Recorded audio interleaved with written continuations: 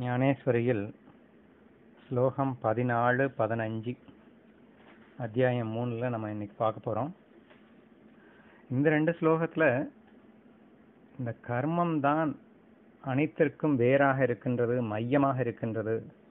கர்மம் செய்யாமல் எவரும் இருக்க முடியாது அப்படிங்கிறத கொஞ்சம் டிஃப்ரெண்ட்டாக இன்டைரக்டாக நிரூபிக்கக்கூடிய ஒரு ரெண்டு ஸ்லோகங்களாக அமைந்திருக்கின்றது.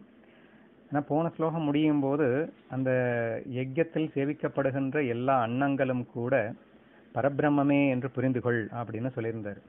அது எப்படி? பிரம்ம யஜ்யத்தில் சமர்ப்பிக்கப்படுகின்ற அன்னம் எல்லாம் பரபிரம்மமாகும் அப்படின்னு நமக்கு டவுட் வரலாம். அதை வந்து அப்படியே கொஞ்சம் ஹையர் நாலேஜ் மாதிரி லைட்டாக டச் பண்ணி சிம்பிளாக புரிகிற மாதிரி ஒரு ரெண்டு ஸ்லோகம் அமைஞ்சிருக்கு. அதை நம்ம பார்ப்போம் இன்னைக்கு. பதினான்காவது ஸ்லோகத்தில்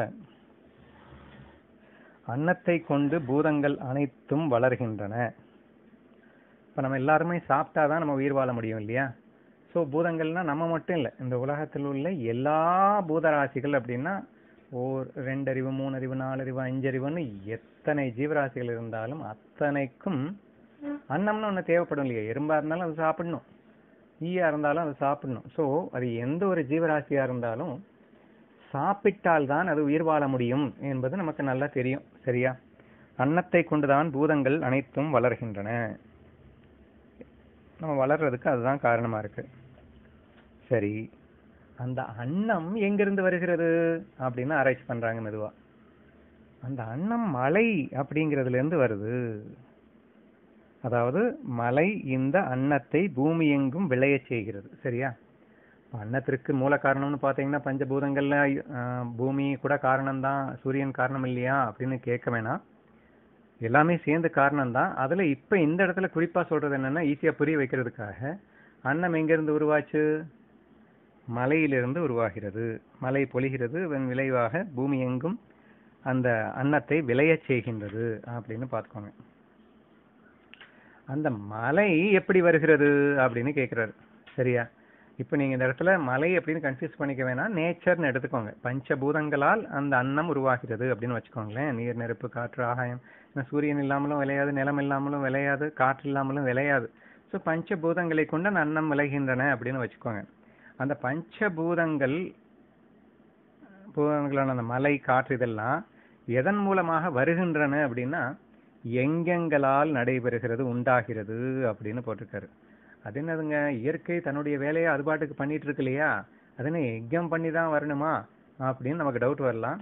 ஆக்சுவலாக வேதத்தில் என்ன சொல்லப்பட்டிருக்கு அப்படின்னு சொன்னால் இப்போ நீங்கள் கேள்விப்பட்டிருப்பீங்க. மலை வர வேண்டி யாகம் வளர்க்கப்படுகிறது. ஏன்னா ஒரு ரெண்டு வருஷம் மழை சுத்தமாக வரலைன்னா பெரிய பெரிய யஜ்யம் யாகம்லாம் வளர்த்து மழை வர வைக்கிறதுக்காகலாம் பண்ணுறது அப்படின்றத கேள்விப்பட்டிருப்பீங்க. அப்போது அந்த ஒவ்வொன்றுமே ஒரு ஒரு தேவதைகள் அப்படின்னு சொல்லப்படுகின்றது. சூரியன் ஒரு தேவதை மலைக்கு ஒரு தேவதை நிலம் ஒரு நிலம் நிலமகள் அப்படின்னு சொல்லக்கூடிய ஒரு தேவதை. இப்படி எல்லா தேவதைகளும் நமக்கு நன்மை செய்யறது தான் இருக்கிறாங்க இல்லைன்னு சொல்லலை. ஆனால் அவர்கள் சாட்டிஸ்ஃபை ஆகலைன்னா அவங்க எதுவுமே கொடுக்க மாட்டாங்க. சரியா? இப்போ அவங்கள சாட்டிஸ்ஃபை பண்ணுறதுக்கு இந்த மாதிரி யாகங்களும் எங்கங்களும் வளர்த்தாதான் அது வந்து கொடுக்கும் என்று ஒரு நிர்ணயம் ஏற்பட்டிருக்கிறது. சரியா? ஆனால் இந்த எல்லா தேவதைகளையும் ஒட்டு மொத்தமாக குளிர்விக்கின்ற ஒரு விஷயம் எதுன்னா சுதர்மானுஷ்டானம்னு சொல்லி நம்ம இதுக்கு முன்னாடி ஸ்லோகங்கள்ல அவர் தெளிவாக சொல்லி கொடுத்துட்டாரு. சரியா?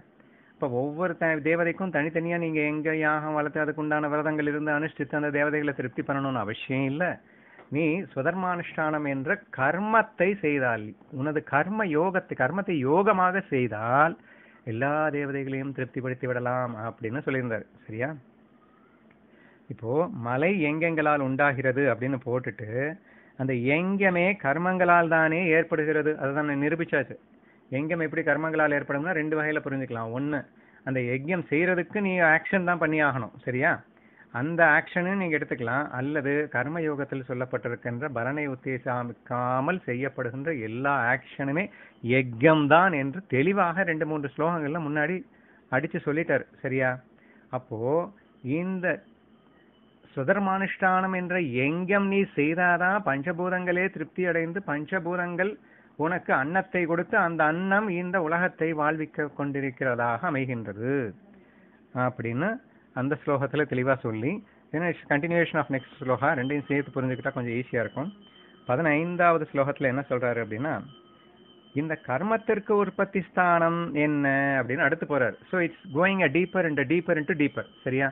முதல்ல அன்னம் எங்கேருந்து வந்தது? இயற்கையிலிருந்து வந்தது. இயற்கை எப்போ பொழியும்?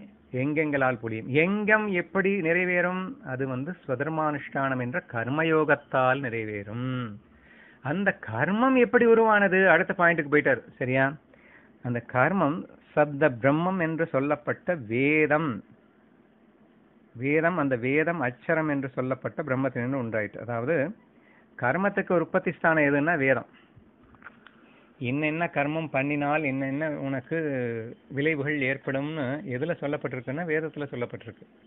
இன்ஃபேக்ட் இந்த சுதர்மானுஷ்டானம் என்ற யஜ்யமே நமக்கு வேதத்தில் சொல்லப்பட்டது தானே? பகவத்கீதைங்கிறது வேதம் தானே? நான்கு வேதங்களை சாராக பிழிந்து நமக்கு சுலபமாக அருந்தும்படியாக கொடுத்தவன் தான் கொடுத்த கண்ணன் தான் இந்த பகவத்கீதைக்கு காரணமாக அமைகின்றது. சரியா?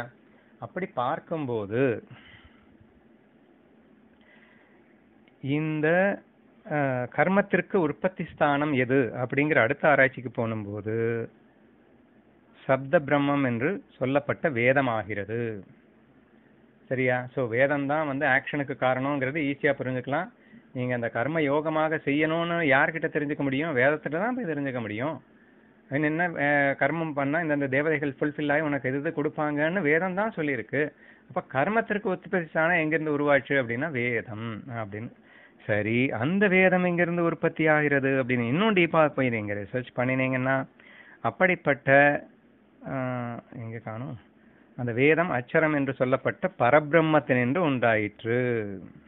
ஸோ அந்த வேதம் எங்கேருந்து உற்பத்தி ஆச்சு அப்படின்னு நீங்கள் ஆராய்ச்சி பண்ணால் அச்சரம் என்று சொல்லப்பட்ட பரபிரம்மத்தினிருந்து உண்டாயிற்று அப்படின்னு வந்துடுது சரியா? அப்போ கண்ணன் தான் வேதத்திற்கு உற்பத்தி ஸ்தானம். வேதம் தான் கர்மத்திற்கு உற்பத்தி ஸ்தானம். கர்மம் தான் யஜ்யத்துக்கு உற்பத்தி ஸ்தானம். யஜ்யம் தான் நமக்கு அன்னமாக பொழிகின்றது. அந்த யஜ்யம் தான் நமக்கு அன்னமாக அன்ன அன்னமாக வருகிறது. அந்த அன்னமே நமக்கு உயிர் வாழ உதவுகின்றது. அப்படிங்கிற மாதிரி வருது சரியா?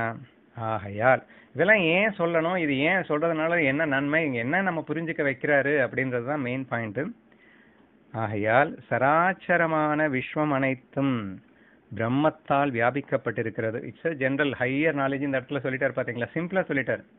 இதுல இருந்து என்ன தெரியுது அப்படின்னா இந்த சராச்சர உலகத்தில் எல்லா ஜீவராசிகளுக்கும் உற்பத்தி ஸ்தானம் எதுன்னா பரபிரம்மம் தானே. ஏன்னா எல்லா ஜீவராசிக்கும் அன்னத்தை வச்சு உற்பத்தி ஆகுதுன்னு சொன்னேன். இதுக்கு பேஸ் அது அதுக்கு பேஸ் அது அதுக்கு பேஸ் அது அதுக்கு பேஸ் ஃபைனலாக எங்கன்னு பார்த்தா பரபிரம்மம் தான் அனைத்துக்கும் பேஸாக இருக்கின்றது ஆணி வேறாக இருக்கின்றது. என்பதை தெளிவாக நம்ம வந்து அந்த ஹையர் நாலேஜை சிம்பிளாக டிவைன் பண்ணி சொல்லி முடிச்சிருக்கிற ஸ்லோகங்கள் இந்த ரெண்டுன்னு நம்ம புரிஞ்சுக்கணும். சரியா? சரி இப்போ இந்த இந்த இடத்துல இந்த ரெண்டு ஸ்லோகத்தை புரிந்து கொள்ள வேண்டியது நோக்கம். அப்படிப்பட்ட பரபிரம்மே வேதமாய் அமைந்து அது கர்மமே உருவாக கொண்ட எக்கத்தில் எப்போதும் நிலை கொண்டிருக்கின்றது. சரியா? அப்போ அந்த பரபிரம்மே அது வேதமா மாறி அடுத்து கர்மமாகத்தானே உருவு கொண்டு எக்கத்தில் தானே நிறுத்து நின்று கொண்டிருக்கிறது. அப்படின்னா கர்மயோகம் என்பது எவ்வளவு முக்கியத்துவமானது அப்படிங்கிறத புரிஞ்சுக்கிறதுக்காக தான் இதை வந்து சொல்லப்பட்டிருக்கு. அந்த பரபிரம்மே அந்த கண்ணனே சும்மா உட்காந்துருக்கலாம்ல பட் அவன் ஏன் வேதமா மாறணும்? வேதமாக மாறி கர்ம யோகமாக அவன் மாறி அதுக்கப்புறம் தான் இந்த உற்பத்தியே நடக்குது. இந்த ஒரு ஜீவராசியை நீ உற்பத்தி பண்ணணும் அப்படின்னா அங்க வேதமாக மாறி கர்ம யஜ்யமாக நீ பண்ணினா மட்டும்தான் அவனை முடியும் அப்படின்னு சொல்லும்போது பரபிரம்மே யஜ்யம் செய்து கொண்டிருக்கிறது. எது? கர்ம யோகம் என்ற யஜ்யம் செய்து கொண்டிருக்கிறது எனும்போது நீ செய்ய வேண்டும் அல்லவா கண்டிப்பாக நான் செய்ய மாட்டேன் அப்படின்னு சொல்லிட்டு கர்மயோகத்தை ஒதுக்கி தள்ளுவது என்பது முடியுமா? கண்டிப்பாக உனக்கு விதிக்கப்பட்ட சுதர்மத்தை கண்டிப்பாக யோகமாக பலனை எதிர்பாராது முழுமையான அன்பிலே திளைத்து சேவையாக யஜ்யத்தை கண்டிப்பாக நீங்கள் செய்ய வேண்டும் என்பதை வலியுறுத்தவே இந்த இரண்டு சோகங்கள் அமைகின்றன என்று புரிந்து கொள்வோம்